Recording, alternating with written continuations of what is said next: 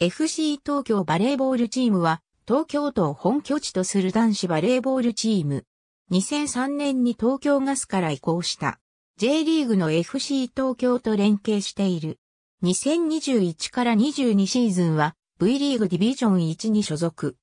母体は FC 東京の前身である東京ガスサッカー部と同様東京ガスバレーボール部。1948年に社内レクリエーションとして9人制バレーボール部として創部したのが始まりであり、1985年に6人制バレーボール部に変更し、2003年に FC 東京バレーボールチームに移行した。J リーグの FC 東京との共通ネームであり、都民のためのクラブを目指す観点から来ている。チームマスコットも東京ドロンパで共通であり、ホームゲームに出没することがある。練習場は東京ガス深川グランド内にある TG 深川体育館であり、練習見学の可能な日も設定されている。バレーボール教室を2002年より開催している。V チャレンジリーグ在籍時には、東京ベルディとの試合で、サッカーと同様に、東京ダービーとして盛り上がりを見せていた。1948年、東京ガスの社内レクリエーションとして9人制バレーボール部として創部。1985年に6人制バレーボール部に変更。1986年より地域リーグに参加。1997年に東部地域リーグに加入。1998年に地域リーグプレーオフを制し V1 リーグ昇格を果たす。第4回 V1 リーグでは3位ながらも V プレミアリーグに9部チームが出た影響で入れ替え戦に出場。しかし、入れ替え戦で日立国部トルメンタに敗れ、プレミアリーグ昇格はならなかった。2002年より FC 東京バレーボール教室を開始し、同チームから選手がコーチングに派遣されるようになる。第5回 V1 リーグで初優勝を果たす。しかし、入れ替え戦では朝日火星スパーキッズに敗れまたしても昇格はならなかった。入れ替え戦の直後の2003年4月、地域に密着するチームになることを目指して東京ガスバレーボール部から FC 東京バレーボールチームへと移行し、普及活動を東京都内で本格的にスタートさせた。第6回 V1 リーグで連覇を果たし、第7回で3連覇を果たすが、入れ替え戦ではことごとく朝日火星に敗れ、昇格を果たせなかった。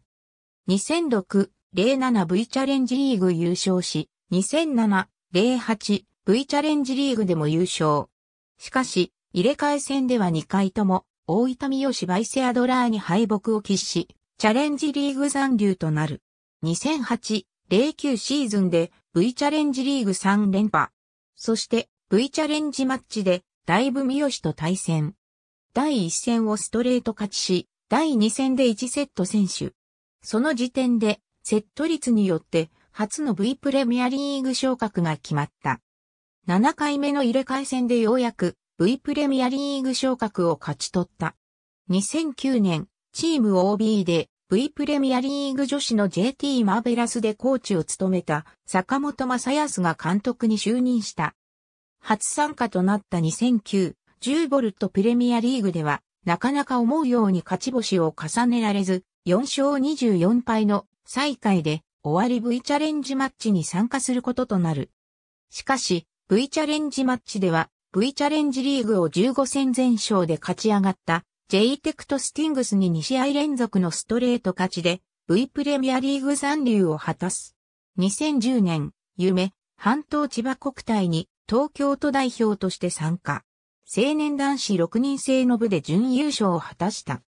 2010、11ボルトプレミアリーグでは再開は逃れたものの7位で終わり、本来なら V チャレンジマッチに出場する成績だが、東日本大震災の影響で中止となり、そのまま残留となる。2011年、所属選手の不祥事により、V リーグ機構より制裁が下された。同年、おいでませ。山口国体で優勝。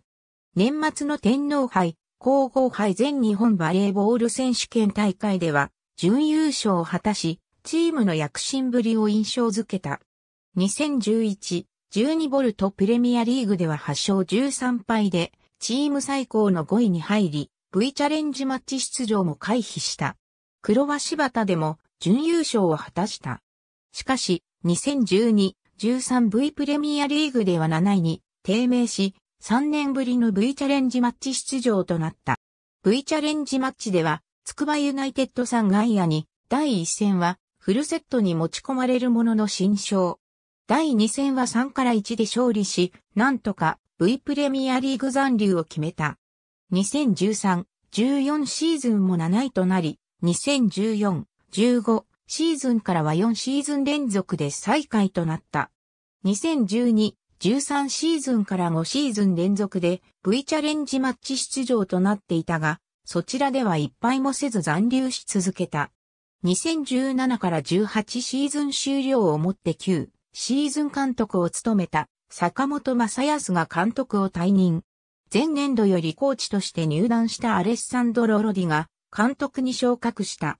2018から19シーズン、V プレミアリーグに代わり新生 V リーグが誕生し、一部であるディビジョン1に編入。チーム数が増加し新たに入った2チームには上回る、モノ順位を上げれず8位で終える。ロディは監督1シーズンで退団。2019から20シーズンより、堺ブレイザーズで監督を務めていたばかりの新母、綱一郎が監督に就任した。V リーグ、実業団リーグ V1 リーグ V プレミアリーグ、V チャレンジリーグ V リーグ。ありがとうございます。